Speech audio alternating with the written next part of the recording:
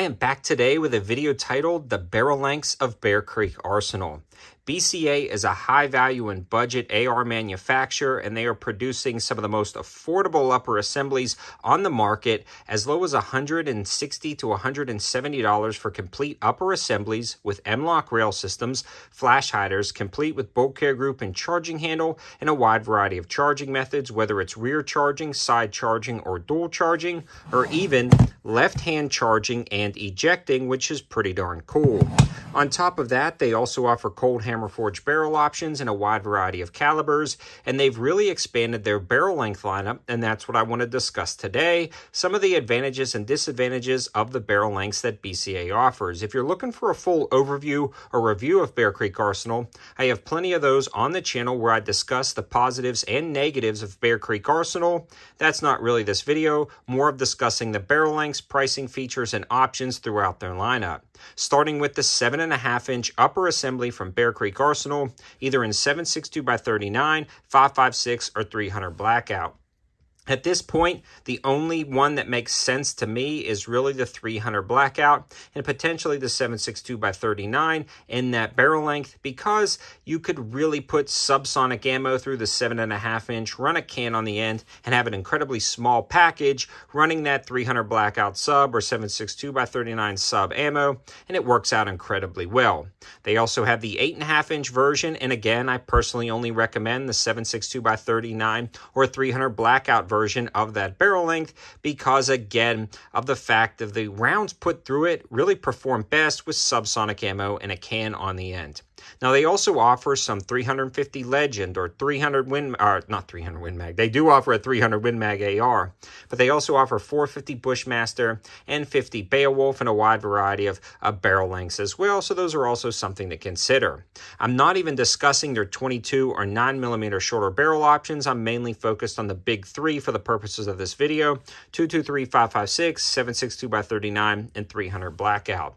In comes 10 and a half inch, and that's what you see here. And that's where it becomes incredibly practical across most of those calibers. 556, 762 by 39, and 300 blackout.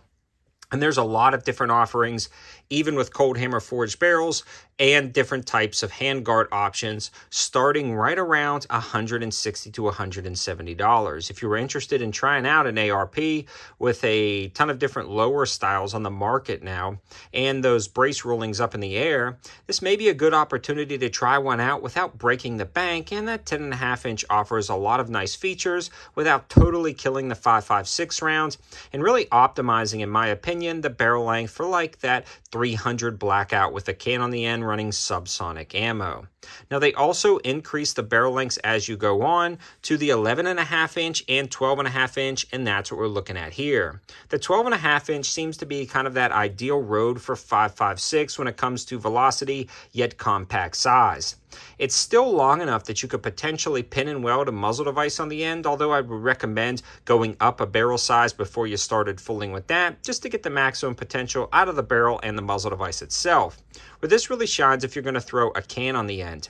You have a nice gas system on this setup. You've got a good quality setup at an affordable price. And when you add that can on the end, you're going to get, again, a lot of velocity out of the 556. Definitely not its full potential, but it's not going to completely kill it. Um, and it's definitely better than the 10 and a half inch. So you start getting into that fragmentation velocity on impact add the can on and you're good to go with like a nice uh, mid-size SBR or ARP depending on what you're doing. Now, Bear Creek Arsenal just released their 14 and a half inch barrel option.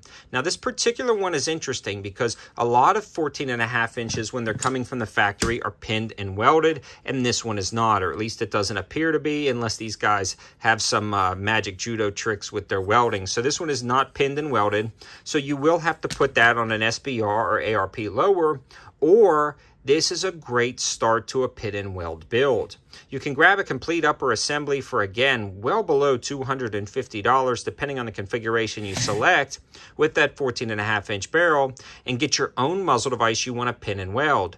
In fact, there's been a lot of deals featured on the channel, especially from companies like Primary Arms that are dropping different chemo muzzle devices that already have the holes drilled um, accordingly in the muzzle device for the pin and weld, extending it past the 14.5 inch and making it permanently a 16 inch barrel, allowing it to be a rifled upper. This is pretty cool because you don't have to buy an already pinned and welded upper assembly. You can simply remove their muzzle device. Then you can add theirs, run the pin in, find somebody to weld it or weld it yourself, and then you're good to go with a permanently attached muzzle device. That's going to increase the overall barrel length to 16 and a half inches. And Bear Creek is a great company if you want to start playing around with that pin and weld service on a budget. Now, they also offer their traditional 16 inch barreled upper assemblies, and I've seen some as low as 170 recently. And all of my favorites will be linked on the campsite page, and the campsite page will be in the description below. Now, that really shines, in my opinion, for the base model 556, 762 by 39, and 300 blackout. But they also move up to 18 inch, 20 inch, 22 inch, and 24 inch. And where they really shine and where they really get a lot of praise from me, especially, is their 18 inch and 20 inch 223 Wylde stainless steel upper assemblies. Those are some of the most accurate high value and budget barrels I've ever seen. And I've actually printed or tested about eight to nine of them on the channel over the eight or nine years that I've had them that all have shot under 0.75 inches at 100 yards using a wide variety of ammo. But my favorite right now that I'm using is the Callaway Ballistics 223 55 grain. This, out of both a, uh, 18 inch and 20 inch barrels that I've shot from Bear Creek Arsenal recently, have gotten as low as a half inch groups at 100 yards with this ammo, obviously bench rested with a match trigger in a decent scope, and me doing my part, so those barrels are plenty accurate. The other cool thing about those is they're still also incredibly affordable, as low as 230 or 240, and those limited time deals and daily deals will be over also not just in the campsite page, but over on my Instagram page if you follow me over there for the daily stories. This 223 was also run for the intro of this video in the 12 and a half inch upper on the SBR, and it functions great in every single barrel length that I tried, so they're not very picky when it comes to ammo selection. Now here recently, I honestly haven't been running steel cased ammo because it's dried up and it's just as expensive as brass. But when steel case becomes available again, I will start utilizing that for testing. But just uh, as a aside, I did not test any of these three uppers, 14.5, 12.5, or 10.5 inch with steel cased ammo just for full transparency. I've only been utilizing brass cased ammo.